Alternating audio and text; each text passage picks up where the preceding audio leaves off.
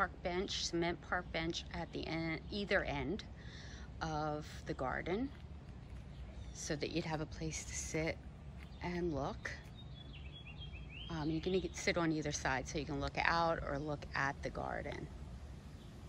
But this is the one end. We have an annual black-eyed Susan vine that we put in. It's doing quite well.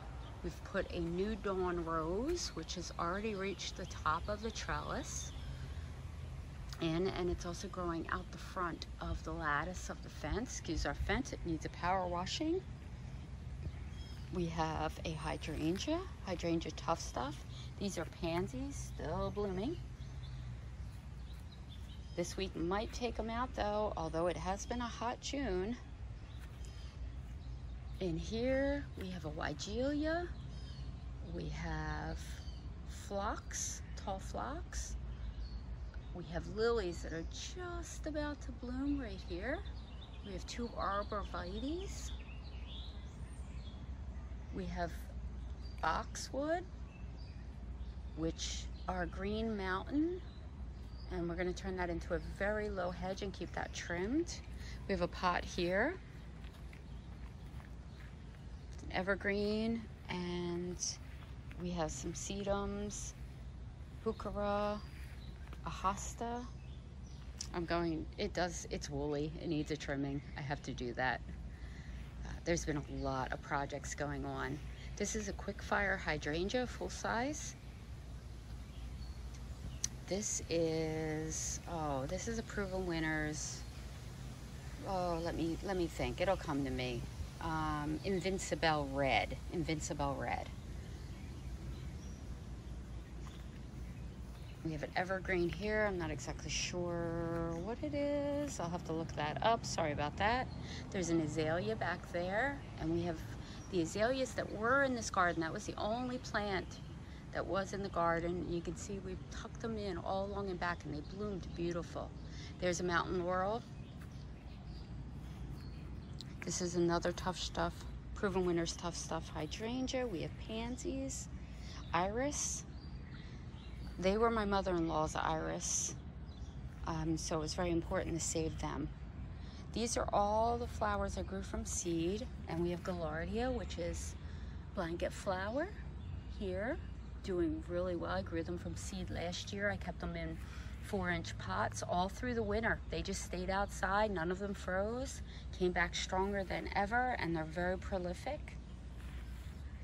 And I absolutely love their seed heads as they form. I think they're really neat, but it's very satisfying to have your seeds really take to your garden.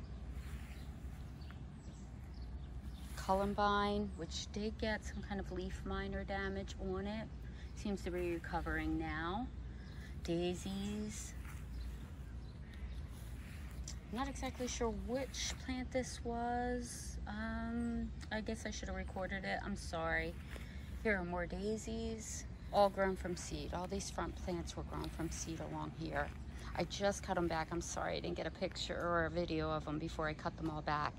In here, this entire area was filled with the common daylily common orange daylily. We just cut it back. It will come back strong. Tough Stuff Hydrangea, some Moonbeam Coreopsis, Stella de Oro daylilies, Impatient, Phlox, Green Mountain Hydrangea, Scotch Moss in the pot, doing really well. I've been putting it between my rocks. This is a Let's Dance Diva, proven winners also. We're calling this the hydrangea garden because we have so many hydrangeas in it.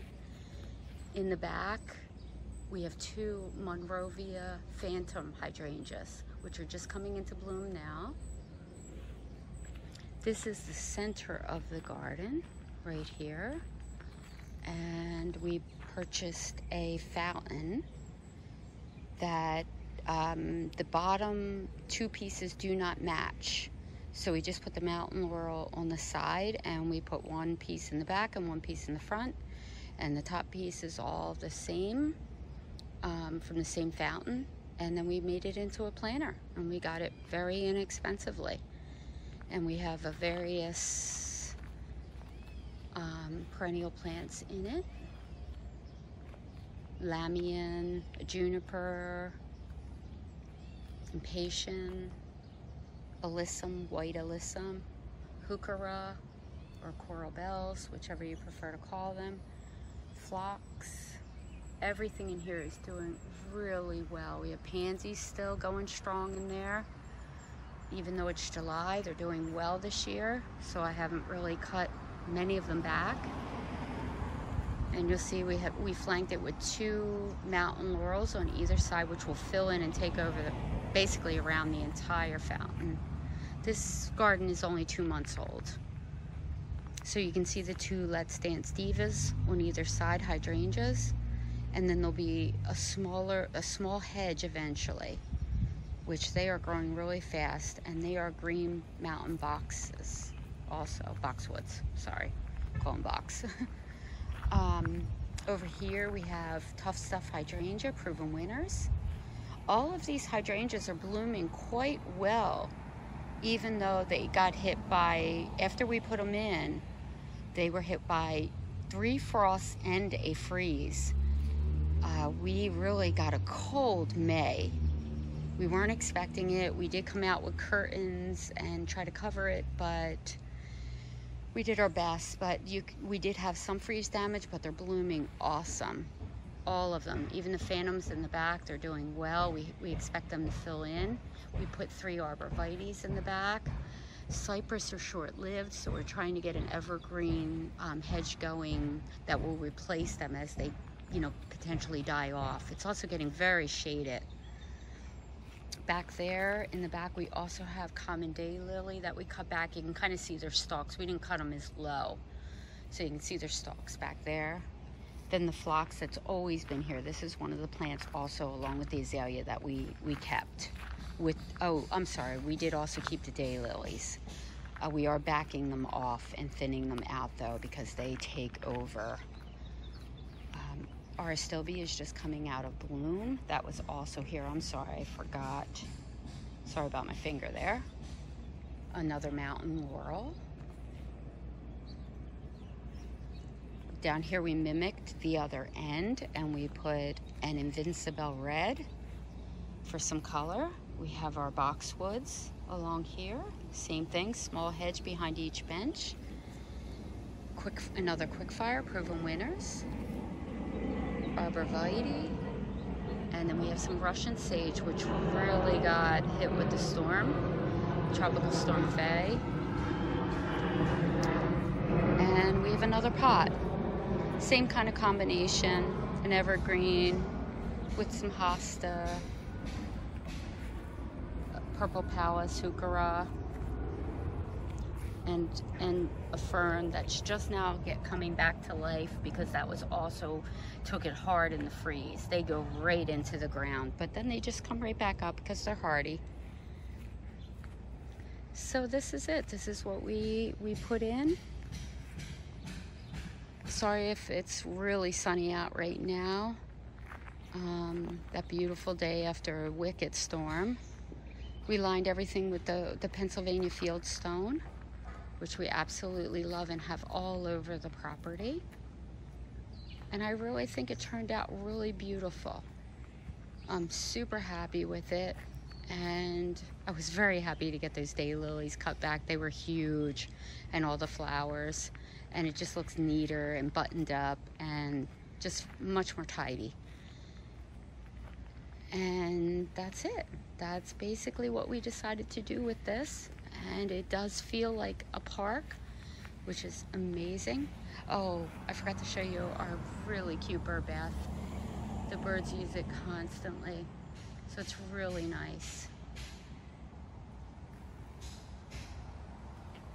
And slowly but surely we'll, we'll fill in, but most of these plants are going to, to fill any of the gaps that you're seeing. The phantoms can get quite big and we're, we really gave everything room to spread to its full potential. Oh, of course, we have the fountain cherry.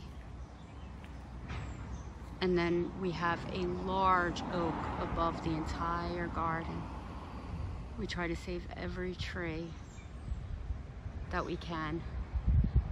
And in the other video, when we were starting this garden, we, we showed you how we amend our soil, and that's why the plants grow so fast for us, and they're very lush.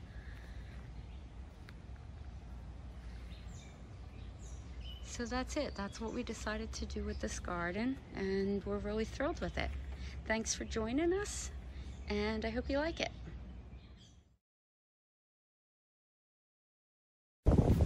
All right, so we're out with the latest project. Ray is currently making up soil amendments with one part peat, one part garden soil, and a half part of compost. He's just getting that all good and mixed, and he's gonna mix it in around the plants as they're planted.